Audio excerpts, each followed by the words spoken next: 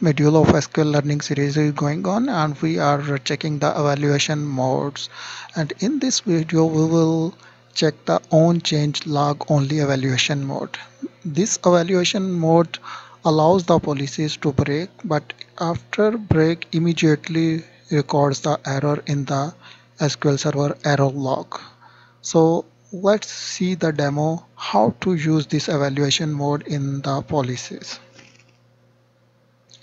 This is the SQL Server Management Studio and here we will create a new policy which will use the evaluation mode on change log only.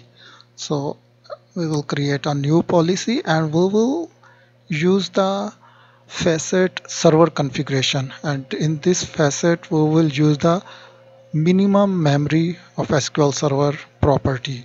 We will see the we will implement one the condition that if anybody change the minimum memory then SQL Server should have to log into the error log.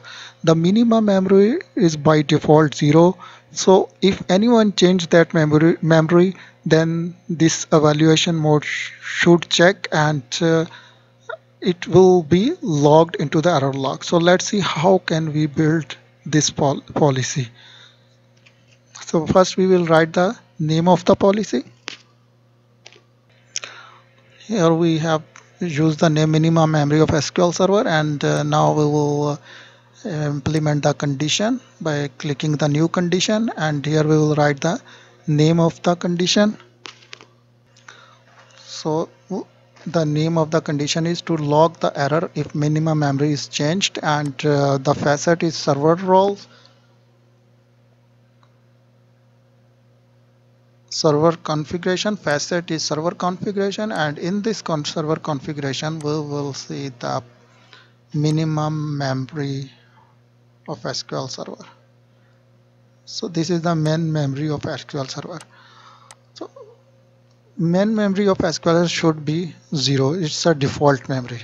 If if anyone will change the uh, this memory then this policy will uh, log the error in the error log by using the evaluation mode on change log only. So the condition is created. We can write the description related to the condition to describe why we are using this condition and after creating the condition we will we can set here the evaluation mode on change log only and we'll have to enable this condition. And we will create the policy. Policy is created and it will evaluate the SQL Server minimum memory whenever it will be changed. So let's change the minimum memory and we will go into the properties. And uh, here is the SQL Server minimum memory it's by default 0 let's change to some number in the this is the M in memory in MB we'll apply this memory but this memory will be applied only when we will restart the server because this is the online operation and here we can test that this whatever we are writing it's uh, applied or not. No it's not applied uh, and so we have to restart the service. So we'll restart the service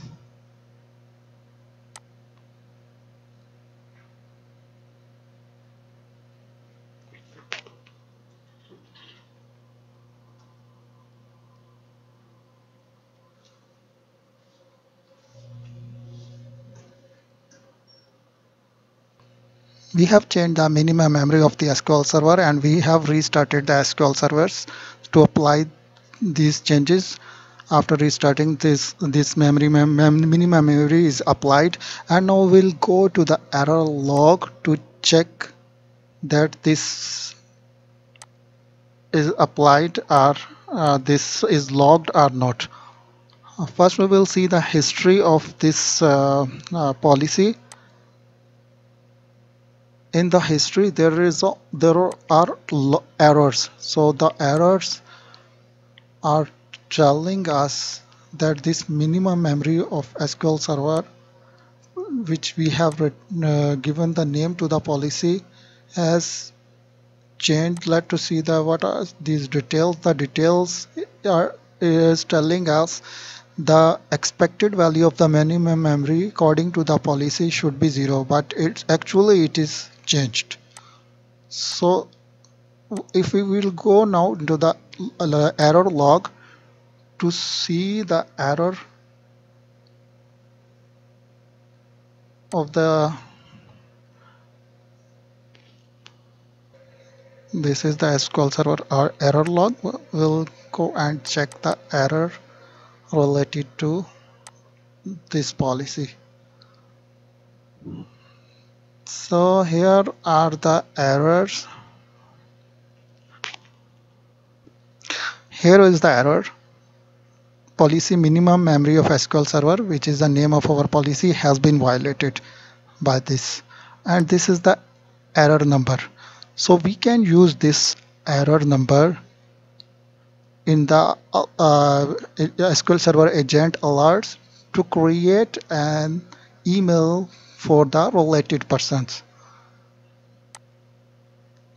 this is the error detail policy minimum memory of SQL Server has been violated by the target. So in this way we can trace out the this uh, uh, policy which has been evaluated on change log only and we can uh, implement the SQL Server agent alert to automatically generate the messages for the DBA or related person. So this is the demo of evaluation mode on change log only